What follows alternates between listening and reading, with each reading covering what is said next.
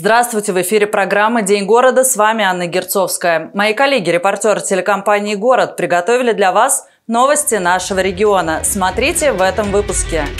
Аврал на новогодних. Губернатор переводит все службы в режим повышенной готовности. Жить станет легче. Для рязанских детей, больных диабетом, поступили новые датчики для мониторинга крови.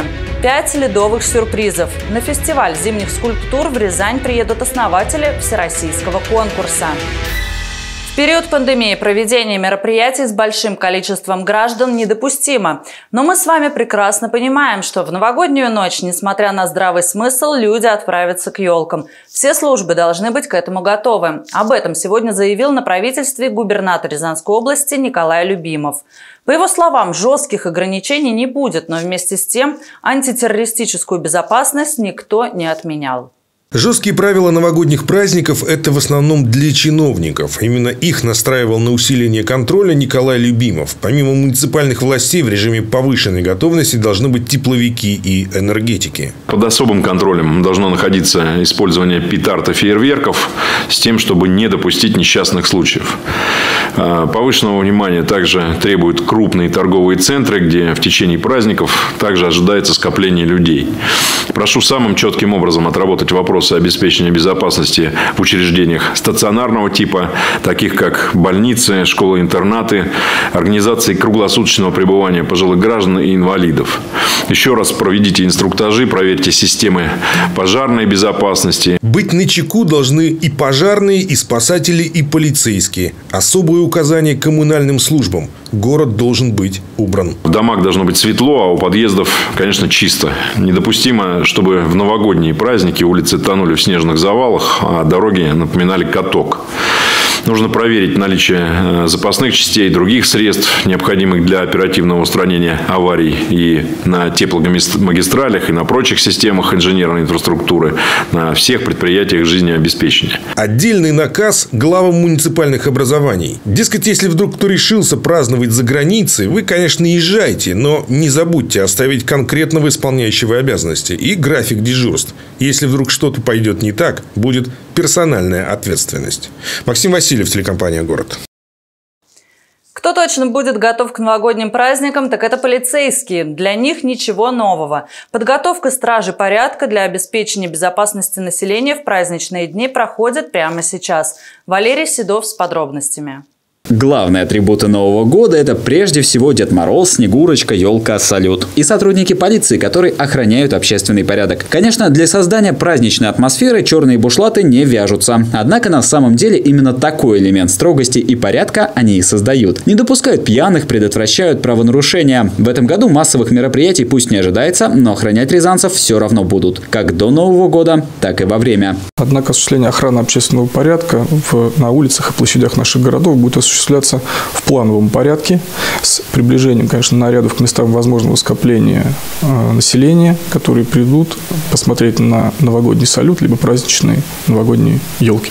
Для полицейских, которые выйдут на работу в праздники, проведут дополнительные инструктажи. Всех секретов, конечно, стражи порядка не раскрывают, но дополнительные меры усиления общественного порядка они точно примут. И если вдруг в празднике вы станете свидетелем противоправного деяния, то лучше сразу обратиться к людям в погонах. И даже не пробуйте решить проблему сами. Если вы стали свидетелем э, совершения какого-либо противоправного деяния на улице, либо э, в ином общественном месте, конечно, ввязываться самому не стоит. Нужно обратиться в, ближайшему сотруднику полиции или позвонить в экстренные службы, приедут сотрудники полиции, примут уже законные, обоснованные правовые меры по предупреждению, пресечению недопущения нарушения общественного порядка. Рязанцев же и гостей города сотрудники полиции просят быть аккуратнее в новогодние праздники. И тогда торжества пройдут хорошо как для горожан, так и для полиции. Валерий Седов, Станислав Кудряшов, телекомпания «Город». Совете Федерации раскрыли судьбу закона о QR-кодах. В частности, много вопросов сейчас возникло к законодателям по их использованию на транспорте. Ранее в Госдуму внесли предложение об использовании QR-кодов в общественных местах и на некоторых видах транспорта. Первую депутатскую инициативу приняли еще 16 декабря в первом чтении. По ней граждане смогут посещать массовые мероприятия с QR-кодом и прививки, справкой о перенесенном коронавирусе или медотводом от вакцинации. Второй документ требовал ввести подобные меры и на транспорте. Но документ сняли с рассмотрения. Глава Комитета Совета Федерации по конституционному законодательству и госстроительству Андрей Клишес заявил, что законопроект убрали из повестки, поскольку, цитата, «законопроект, очевидно, не готов для того, чтобы обсуждаться на пленарном заседании Госдумы», сказал парламентарий. В Рязань поступили первые партии датчиков мониторинга системы глюкозы в крови. Это может облегчить жизни больше 300 родителей и самих детей. О том, чем именно полезны эти датчики и почему они так важны для диабетиков, расскажет Валерий Седов.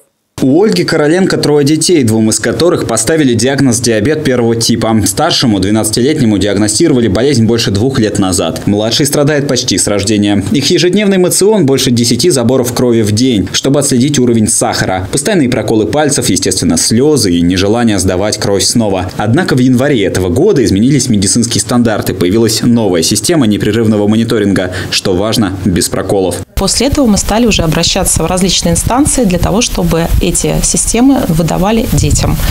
Ну и вот прошел почти год, и теперь есть настоящий физический результат э, системы нам выдали. Это первая партия новых систем непрерывного мониторинга. Вручать их приехал губернатор Рязанской области Николай Любимов. Он и попросил главного врача Инну Лебедеву рассказать, как система будет работать датчик, который крепится на, на плечо и, собственно говоря, которому уже потом э, сканером или ридером считывается э, сказать, информация, которая через этот датчик э, происходит. Прибор состоит из двух частей. Монитор устанавливается не под кожу, а на нее. Ридером считывается постоянный уровень сахара в крови. Это позволяет отследить динамику и вовремя отреагировать на изменения показателей. В первую партию закуплено 335 приборов. Мы их будем передавать в лечебные учреждения, которые а, распределять будут э, на своих больных, имеющих территориальное прикрепление к лечебному учреждению. И в последующем такая же схема будет у нас. То есть все эти приборы будут выданы персонально каждому родителю, имеющему ребенка с сахарным диабетом первого типа. И в последующем будет проведено, кому требуется обучение родителей, тому, как пользоваться и как использовать этот прибор. В Рязани области сейчас 341 один ребенок с диагнозом диабет первого типа. За последний год он выявлен у 56 детей. На лицо рост динамики. И хоть новая система непрерывного мониторинга призвана облегчить жизнь как родителям, так и детям, все равно необходимо регулярно приходить к врачам и проходить обследование. Валерий Седов, Михаил Лазуткин, телекомпания «Город». В новогодние праздники одним из центральных событий в Рязани станет фестиваль ледовых скульптур, который познакомит рязанцев и гостей города с искусством ледяной скульптуры и создаст яркую праздничную атмосферу на Лыбецком бульваре. Пять рязанских художников-скульпторов сделают уникальные фигуры, эскизы которых пока держатся в строжайшем секрете.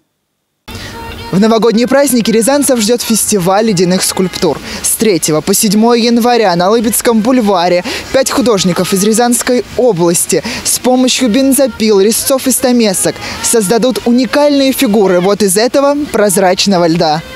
На создание ледяных шедевров отведут несколько дней. Тонны ледяных блоков уже доставили на Лыбецкий бульвар, где, кстати, и пройдет фестиваль. Подготовка идет полным ходом. Сейчас организаторы создают ледяные подиумы для будущих скульптур. Лед привезли прямо из Урала. Своего подходящего по плотности и прозрачности не нашли. Глыб толщиной минимум 50 сантиметров в Рязани просто нет физически. Если мы говорим о изготовлении э, большой скульптуры, там 3-5 метровый. Это единственный материал. Ну, еще может быть снег и песок, которые позволяют за всего за несколько дней сделать э, большую, многометровую, проработанную композицию. А художники до сих пор работают над эскизами, продумывают детали, и многое будет зависеть от погоды. Если мороз, мороз будет покрепче, то скульптуры будут более ажурные, более сложные, красивые. Если ближе к нулю, то все равно будет красиво, но чуть, чуть более надежно. В новом году рязанцев ожидает настоящая феерия света и льда, ведь ледяные скульптуры будут подсвечиваться в вечернее время. Ну а пока что они в самом начале своего рождения. Художники рассчитывают, что после своего создания ледяные фигуры будут радовать рязанцев и гостей города до конца зимы. Эскизы фигур пока держат в секрете. Даже организаторы фестиваля до конца не знают. Но, по слухам, одна из фигур будет точно бюстом нашего земляка Сергея Есенина. Самое главное, чтобы погода не внесла коррективы в работу мастеров и не испортила ледяные шедевры. Напомним, всех ценителей прекрасного ждут на Лыбецком бульваре с 3 января. Герман Гущин, Станислав Кудряшов, телекомпания «Город».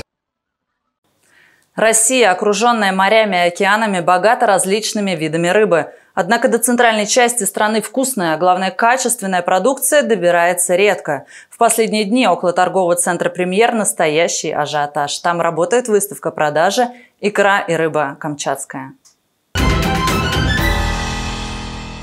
Чавыча, белорыбица, красная икра. Все это можно попробовать на выставке продажи икра и рыба камчатская. И если понравится, приобрести. На ярмарке настоящее раздолье для ценителей качества и вкуса. Здесь представлена рыба слабосоленая, горячего и холодного копчения. Каждый найдет себе деликатес по вкусу. Я солененькую люблю. Закуски превосходного качества приезжают в Рязань прямо с Камчатки. Рыбка на этой выставке продажи очень сочная и нежная. А главное, ее мясо наполнено витаминами и минералами. Многие рязанцы узнали о ярмарке от своих друзей и близких и решили сами попробовать деликатесы. Другие вовсю рекомендуют уже полюбившиеся лакомства. Так, рыбку мы берем чавычи, белорыбицу. Очень все вкусно. Чавычу. Я не пробовала, вот по решил попробовать.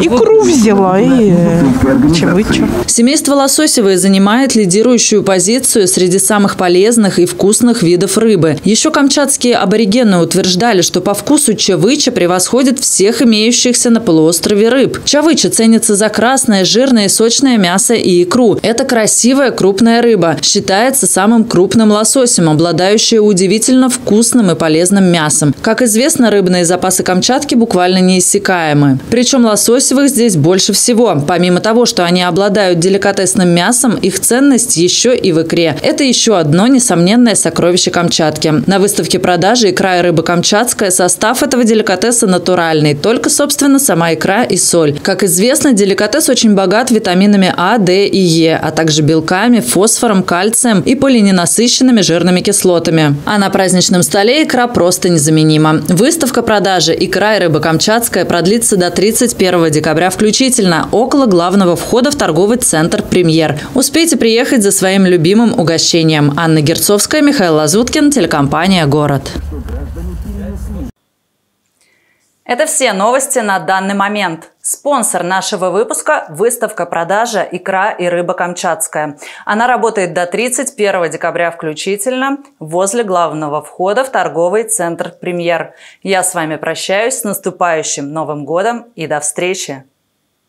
Новогоднее чудо с Камчатки к вашему столу. Свежий улов, чавыча, красная икра, белорыбица. Торопитесь, только до 31 декабря. Уличная площадка торгового центра «Премьер».